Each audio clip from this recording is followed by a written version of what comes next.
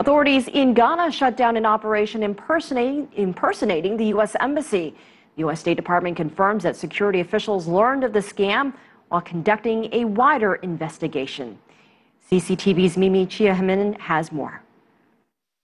Well, according to the State Department, this fake U.S. embassy was being run by an organized crime ring with members from Turkey and Ghana, including a Ghanaian attorney who practiced immigration and criminal law. Now, they were allegedly issuing legitimate but fraudulently obtained visas and birth certificates for about $6,000 per document. The operation was successfully shut down a few months ago, the State Department said recently, after an investigation that was coordinated by the Assistant Regional Security Officer investigator at the real U.S. Embassy in Accra. Now, the local police force and the Detectives Bureau, along with other international partners, carried out several raids and arrested a number of different suspects. And during those raids, authorities also discovered a fake Dutch embassy.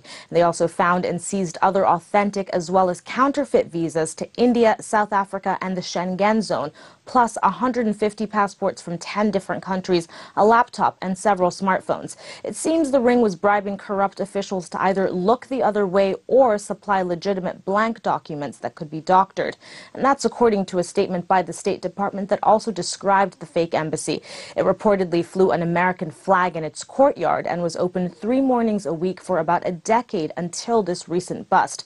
But authorities say it's still unknown how many people have illegally entered the U.S. and other countries using these false documents. Mimi Chahaman, CCTV, New York.